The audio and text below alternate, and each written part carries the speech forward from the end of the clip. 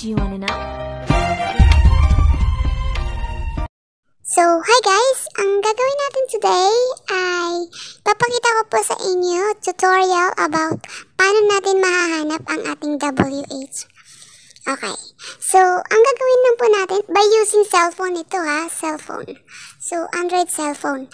Ang gagawin lang po natin is pupunta tayo sa Chrome. There. And then, isi-search natin is YouTube. Actually, na-search ito kanina, pero search natin ulit. Ayan, YouTube. And go.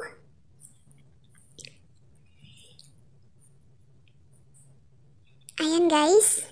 So, titingnan natin kung naka-desktop site ba siya kasi need natin i-desktop site.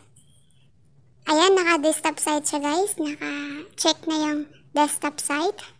And next, pipindutin natin yung profile picture natin guys. Actually, account to ng anak ko. So, ayan, pipindutin natin yung profile picture. Bakit what happened? Bakit what May na yung signal ko.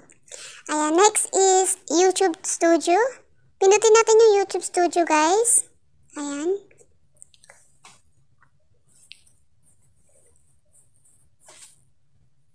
Ayan na yung YouTube Studio natin, guys. So, ayan, ah, uh, ito yung makikita natin sa YouTube Studio. Malit pa yung bahay nito is 75 pa lang yung subscriber. So, next, ang pipindutin naman natin guys ay itong monetization. Ang yung parang dollar sign dito sa gilid. Ito siya guys. Ayan, ganyan na lang. Malaki-laki onte. Ay, ayan.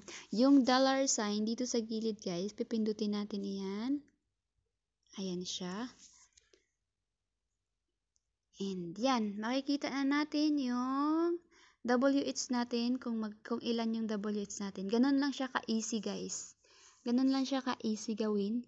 Hanapin yung WH natin. Ayan. So, 9 pa lang yung WH niya. Kawawa naman. Bago pa lang ito guys. Isang buwan pa lang yata to nagawa. So, so guys, uh, ganun lang po ka-easy natin gagawin yung ano, yung maghanap, uh, tingnan yung ano, yung WH natin. So, I'm hoping that guys that na may natutunan kayo sa ano sa video ko today.